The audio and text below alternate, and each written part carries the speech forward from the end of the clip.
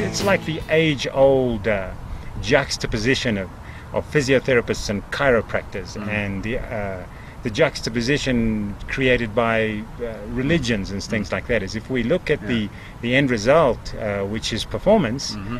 uh, we should actually see every paradigm that we enter as opportunities to create performance. So Yeah, what, what can I learn from an applied kinesiologist who seems to be so Exactly. far out there but you know he might have one little piece of the puzzle or she might have one piece of the puzzle and that's that I all you're need. doing you know that's and again at the olympic level it's different from most people who will watch this but at the olympic level half a percent is the difference between fourth and gold. Yes it's exactly. anonymous versus legend. Yeah and if you can find that half a percent in five different areas each of which gives you 0.1 yeah because yeah. you've seen a kinesiologist and a physiotherapist and a dietitian and a sports Yeah. well then why would you say no exactly and so that's that's the that's the mind shift that certainly I think exists I think it's been made here by more people in South Africa we haven't made it okay. but that's that's what needs to happen. But anywhere in the world, when you look at good sports science for performance, it's always driven by the coach, and what he recognizes is needed by the athlete.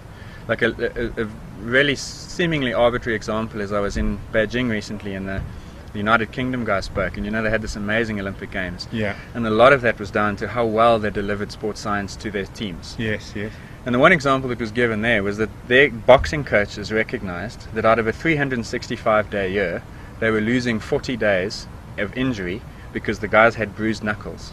Oh wow So a simple experiment was to put pressure sensors on all the knuckles, yeah measure the boxer during a session, see where the pressure was greatest. Then they worked on new taping techniques that Yeah. would, would protect De- the knuckles at highest uh, yeah. pressure. And all of a sudden, those 40 days dropped down to 20 days. And so they'd effectively, using science, bought themselves 20 20 days of training. Out of 365, that's huge that's a 5% more training. That's, Yeah, that's and that's the difference. Again, Yeah. like if you're talking half a percent, is that not going to make that difference? yeah yeah So it's a simple thing. The coaches saw the problem, the scientists had a way to answer it, and they delivered. And that's exactly what people should look for. And it doesn't mean going to a university environment. It's yeah it's just you can do this yourself. You know, yes exactly you can yeah. play with hydration strategies. yeah Uh, maybe you feel bloated when you run. Try drink less, for example. yeah, yeah. And and your optimal weight for race, for yeah yeah